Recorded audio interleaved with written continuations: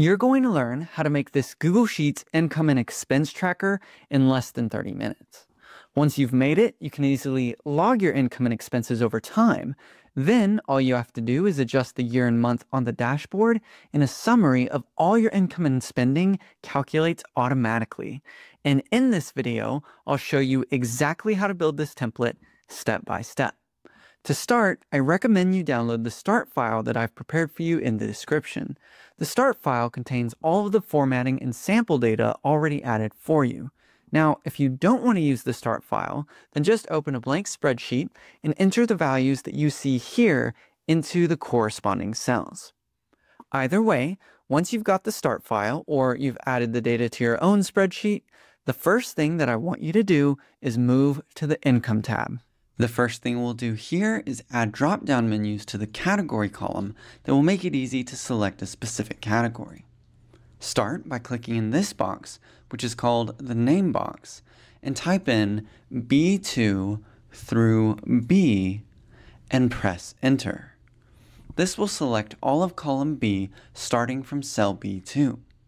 With these cells selected, go to Data, Data Validation, click Add Rule.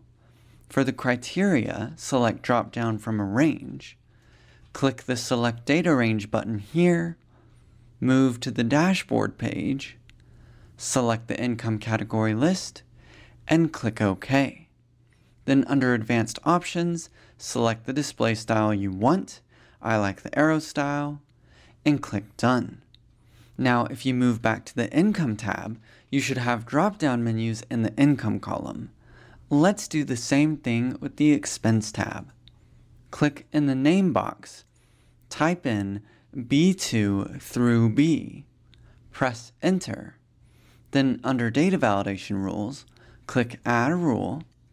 Under Criteria, select drop down from a range. Click the Select Data Range button Move to the dashboard page, select the expense category list, and click OK. Then under Advanced Options, select the display style you want, and click Done. Back on the Expense tab, you should now have drop-downs in the category column. Awesome. Okie dokie. Now we're going to create six range names that will help us write our formulas here in a little bit. Range names are basically specific names that you assign to specific ranges to make those ranges easier to reference from anywhere in your spreadsheet. Plus, range names give your formulas more context and make them easier to read. So to create these range names, move to the Income tab, go to Data, Named Ranges, click Add a Range, make the name Income Date with no spaces because range names cannot have spaces. Then change the range to A2 through A, then click Done.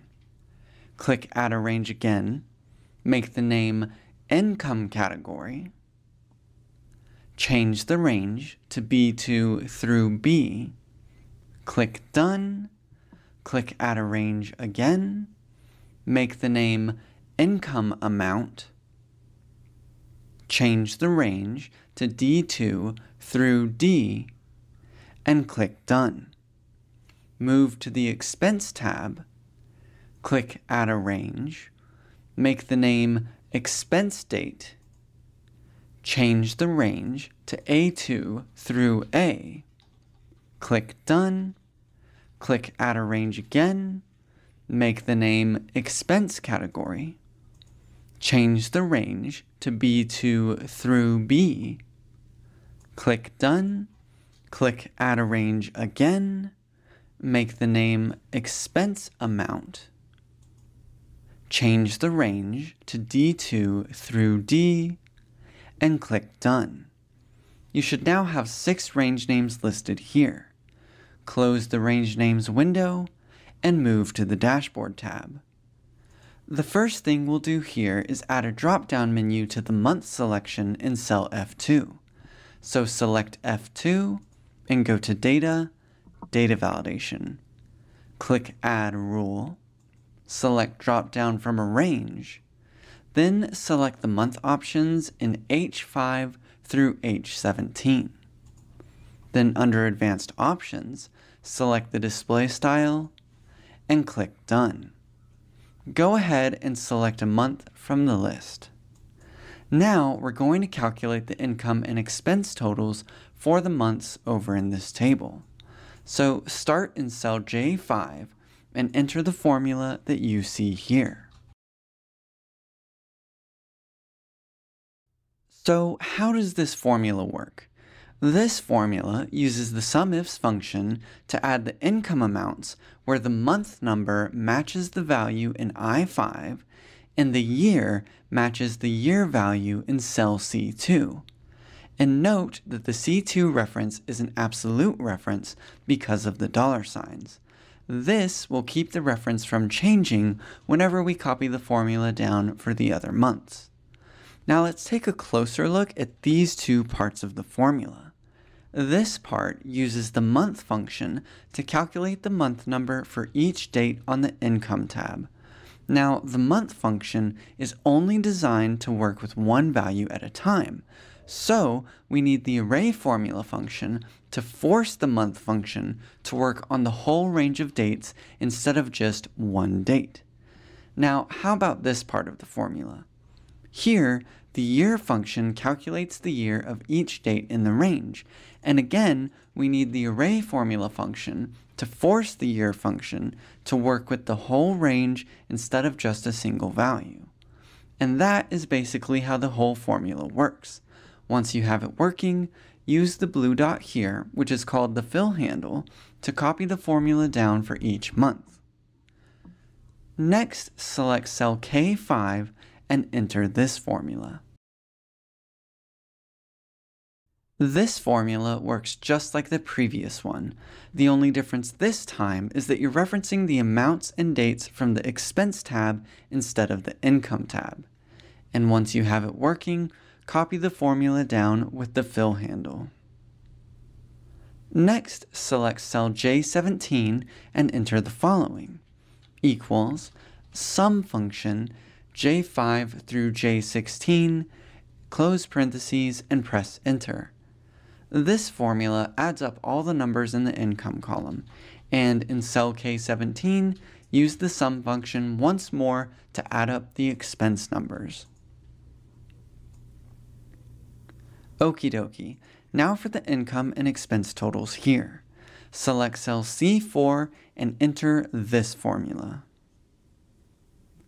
Here, we're using the XLOOKUP function to look at the selected month in cell F2 find that value among the month list in H5 through H17, and then return the corresponding income number. Next, select cell F4 and enter this formula. Here, we use the XLOOKUP function to return the corresponding expense value this time based on the selected month value. Okie dokie. Now to calculate the totals for the income categories start in cell C7 and enter this formula. You'll notice that the formula is broken up into three lines, and to add line breaks to your formula when you're writing it, all you have to do is press Alt Enter. So how does this formula work? To start, the if function checks to see if the selected month value in cell F2 is equal to all. If so, then the first SUMIFS function will calculate. Otherwise, the second SUMIFS function will calculate. So now let's look at the first SUMIFS function. This function adds the income amounts where the dates match the date in cell C2 and the categories match the category in cell B7. And notice that the C2 reference is an absolute reference, so it won't change whenever we copy the formula down. But the B7 reference will change since there aren't any dollar signs. And this is what you want because you want to reference each category in the list. It's also important to note that the array formula function is used here to force the year function to operate on the entire income date range. Now, what about the second SUMIFS function? Once again, it adds the income amounts where the years match the year in C2 and the categories match the value in B7. However, there is a third criteria as well with these last two arguments. The xmatch function searches for the month value from F2 among the month list in H5 through H16, and it returns the position which is equal to the month number. Then the SUMIFS function checks this last criteria by comparing the month numbers from the date range to the month number of the selected month. And that is how the whole formula works. Once you have it working, use the fill handle to copy the formula down for the rest of the income category table. Next, select cell F7 and enter this formula. This formula works just like the previous one, the only difference being that we're referencing the expense data rather than the income data. And of course, once you have it, copy the formula down with the fill handle. Okie dokie, all we have to do now is create the final chart. Start by selecting H4 through H16, hold the Control key, also select J4 through K16, then go to Insert, Chart. Move and reposition the chart to fit within the range M2 through U17. Then click the three dots in the top right corner and select Edit Chart. Under the Setup tab, for the chart type, select the Combo option. Move to the Customize tab, and under Chart Style, set the border color to none. Under Chart and Axis titles, select Chart Title and remove the title. Then select Horizontal Axis Title and remove that title as well. Under Series, select Income, choose Columns for the type, set the fill color to light green, change the series to Expense, choose line for the type, set the line color to dark red, set the point size to 14, then set the line thickness to 0. Under Legend, change the font size to 18 and bold the font. Under Horizontal Axis, set the font size to 14 and bold the font. Under Vertical Axis, set the font size to 14 and you can change the number format to none to simplify the numbers. You can now close the chart editor panel, select columns H through K, right click, and hide. Finally, you've got a fully functioning income and expense tracker right in Google Sheets. Now, if you're looking for another fun build just like this one, I really recommend you check out this video next where I show you how to make this awesome net worth tracker step by step.